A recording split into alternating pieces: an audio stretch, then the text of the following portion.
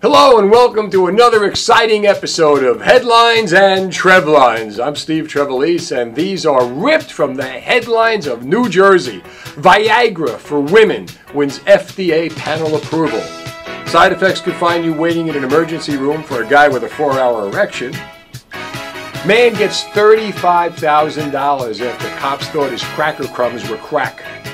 Makes you wonder what the cops were smoking. Man found in women's car in Wyckoff said God sent him. To which she replied, Jesus. To which he replied, no, he was sent to the pickup down the street. Uber fires driver allegedly recorded fondling himself next to female passenger. Now there's a time to take a selfie and there's a time not to take a selfie. Monmouth teacher accused of sexual relationship with students. Now this never happened when I went to school. Course, I was taught by nuns in Catholic school. Come to think of it, though, they weren't the spanking. New Jersey seeks to make upskirting a crime. In a related story, New Jersey will also be introducing a ban on patent leather shoes.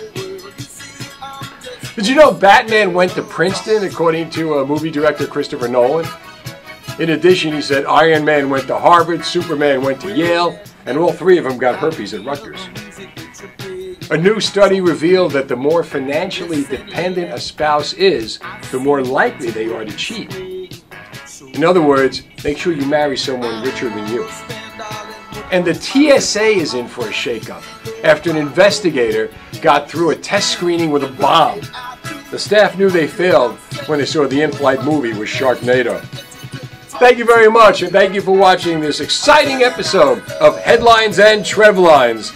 Listen to me at night on New Jersey 101.5, 7 to midnight. Talk to me until the night is over.